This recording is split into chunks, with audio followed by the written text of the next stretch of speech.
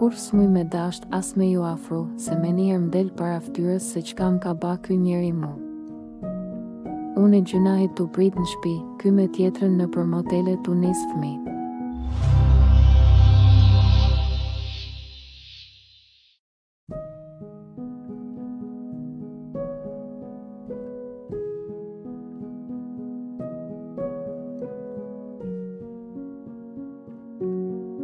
Jam 25 vjeçare, kam dy fëmi.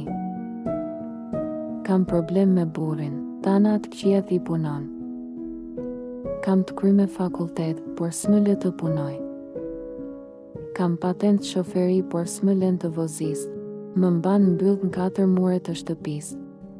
Këto gjëra mi ka ba gjithmonë prej që jemi martuar.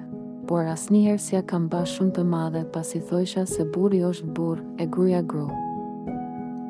Duhet me ditë vendin e vet secili e mos mu bo kishe na evropianë. Mi hyp burrit në qafë e me i thanë po i du të drejtat e barabarta. Po kish edhe asi burra që nuk e din kufinin e vet. Çdo herë vjen shumë vonë në shpi, 5 apo 6 të mëngjesit.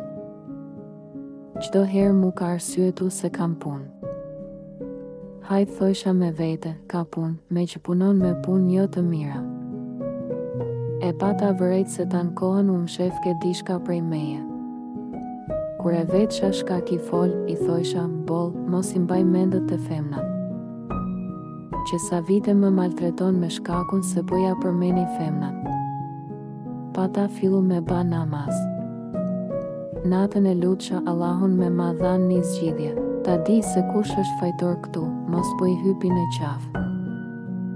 Kur një ditë e kishte haru telefonin, edhe në atë moment unë e pash i erdh një mesazh.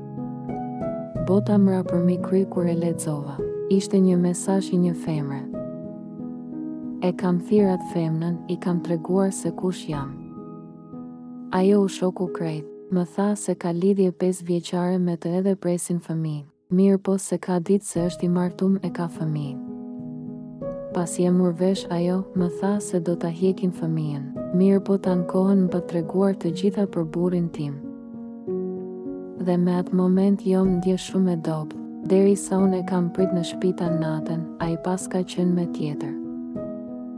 Jo veç me atë, me njëqind tjera, a fmit i ban be rrejshëm se përveç meje s'ka. S'di çka me ba me këtë njeri që e punon haramin, që më ka maltretuar tanë kohën. Më dhimen fmit, por edhe jeta s'është një apo dy ditë. As smuj me pas kurgja me burr kur e menoj se çka ka ba. Kurr smuj me dasht as me ju afru, se menier mdel para ftyrës se çka m'ka ba ky njeri mu. Une e gjynahit tu prit në shpi, ky me tjetrën nëpër motele tu nis fmi. Oh veç kush e ka provu mundet me ma kuptu situatën. Nga një anë po them e theft qafën. Ose ndoshta do të ishte më mirë të ndahem një herë e përgjithmonë, sepse shpesh i boj pyetje vetes pse të rri tek burri. A më don? A kam liri nga ai? A më ka respektuar ndonjëherë? Jo. Po pse të rri pra unë te burri? Nga njëherë menoj që e vetmja zgjidhje është kjo. Por ka raste që për ni moment më ndryshojnë mendimet edhe asnjëherë më nuk e mendoj ndarjen për shkak të fëmijëve. S'di s'di, jam shumë konfuze. Edhe nëse ndana prej tij, asnjëherë s'isha martuar, vetëm se isha punësuar. Le ta din fëmijët e mi nesër se nuk i kam lanë ata për burrë tjetër, por prej zorit të shkret.